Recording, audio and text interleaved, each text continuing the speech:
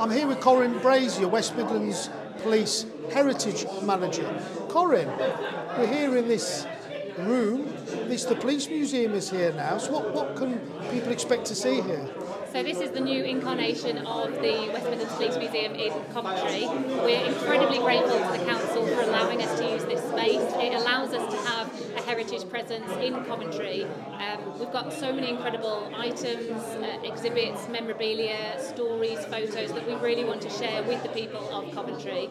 So uh, with thanks to the council and also for our volunteers, um, retired, generally retired police officers from Coventry who are coming in to staff it and, and man it and allow us to share all this amazing history with the public. And it is quite amazing. This most of this is about Coventry as well as about Coventry's policing history, the history of Coventry itself.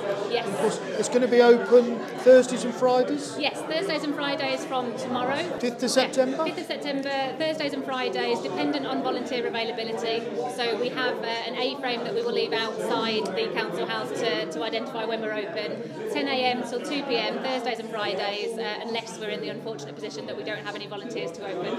Okay. Well, Corinne, thank you, thank you very much. So, Coventry's Police Museum open for business from the 5th of September, perfectly accessible for abled and disabled people. Come along, uh, members of the public are more than welcome to come and have a look at Coventry's Police Museum.